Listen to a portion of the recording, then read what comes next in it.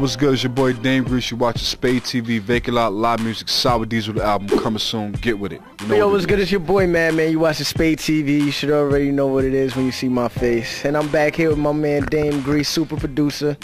What's poppin', big baby? Chillin', chillin'. You know what it is. Your boy Dame Grease, your favorite producer, favorite producer in the building. Vacant Lot Records, Vacant Lot Establishment, Lot Music Studios, Lot Music the label, Lot Music the brand, Lot Music Films, Lot Films going down. So I mean, we we ain't seen each other in about a year. What's what's what's happened since then? Oh man, you already know we got um I got the new single out of my album Sour Diesel out right now. Me, Noreaga Styles. It's on the new Smack. It's all over the internet. I got um the Rockefeller Millionaire single out there. Big Spender, Jay Z and Freeway. I got Feds taking pictures of me singing out there. DJ Drama.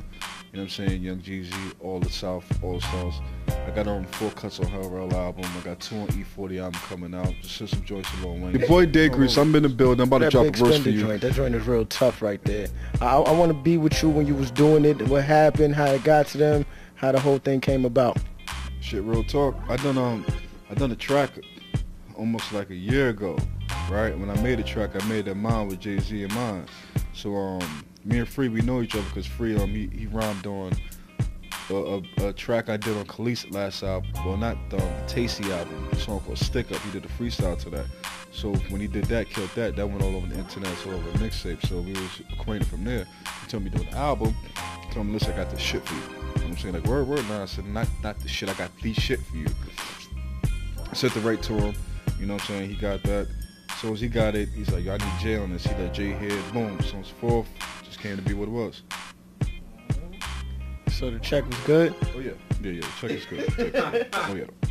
That big spender money? Oh yeah, oh yeah, yeah, yeah. Yeah, Rockefeller make a lot of millionaires, you know? Okay, That's what it is. Can I, can I have some of it? Um, we could work things out. Like I'm always there to make more money. Like if we could get a partnership on this DVD we doing here, make some money.